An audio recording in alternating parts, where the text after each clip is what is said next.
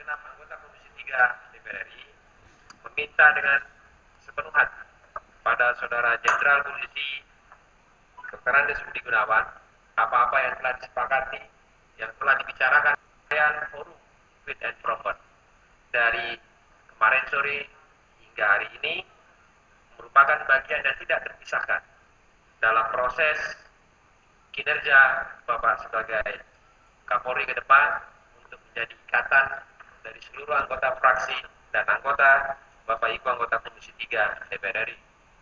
Dengan mengucapkan Bismillahirrahmanirrahim, apakah hal ini dapat disetujui? Baik.